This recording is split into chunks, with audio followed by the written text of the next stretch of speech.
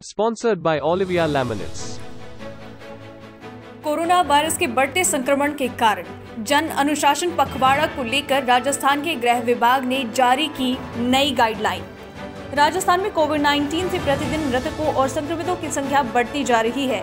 ऐसी स्थिति में इस महामारी के प्रसार की चैन को प्रभावी ढंग से तोड़ना आवश्यक है। इसलिए लॉकडाउन के बजाय सख्त कदम उठाने की आवश्यकता है। इसी दिशा में प्रमुख शासन सचिव गृह विभाग द्वारा नई गाइडलाइन जारी की गई है। अब सभी प्रकार के खाद्य पदार्थ और किराने का सामान, आटा चक्की, पशु चारा से संबंधित रिटेल शॉप होलसेल दुकानें सोमवार से शुक्रवार तक प्रातः छह बजे से प्रातः ग्यारह बजे तक खुली रहेंगी।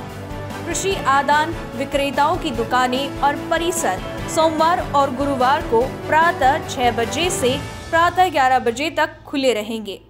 डेयरी और दूध की दुकानें रोज़ाना छह बजे से ग्यारह बजे तक और शाम पाँच बजे से सात बजे तक खुली रहेंगी। मंडियाँ, फल और सब्ज़ियाँ फूल मालाएँ की दुकानें प्रतिदिन आठ से ग्यारह बजे तक खुली रहेंगी।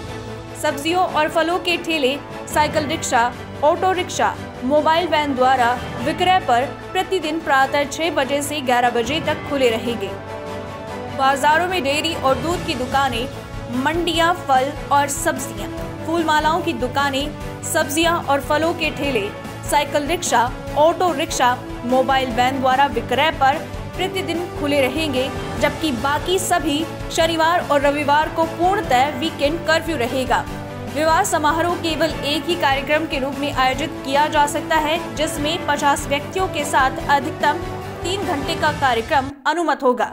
सार्वजनिक परिवहन में लगे वाहनों के लिए petrol, diesel pump CNG petroleum और गैस संबंधित रिटेल होलसेल आउटलेट अपने यथा समय तक खोलने की अनुमति होगी। परंतु निजी वाहनों के लिए पेट्रोल, डीजल पंप और एलपीजी सेवा प्रातः सात बजे से दोपहर बारह बजे तक अनुमति होगी। ए मित्र, आधार केंद्र खोलने की अनुमति रहेगी। बैंक बीमा और माइक्रो फाइनेंस इंस्टीट्यूशन की सीमाएँ आमजन के लिए प्रातः 10 बजे से दोपहर 2 बजे तक शुरू रहेंगी।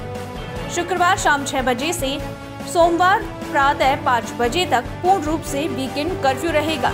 विभाग द्वारा जारी आदेश दिनांक 31 मार्च 4 अप्रैल 9 अप्रैल 14 अप्रैल 16 अप्रैल, दिनांक 18 अप्रैल 2021 के अनुसार अन्य दिशा निर्देश यथावत रहेंगे।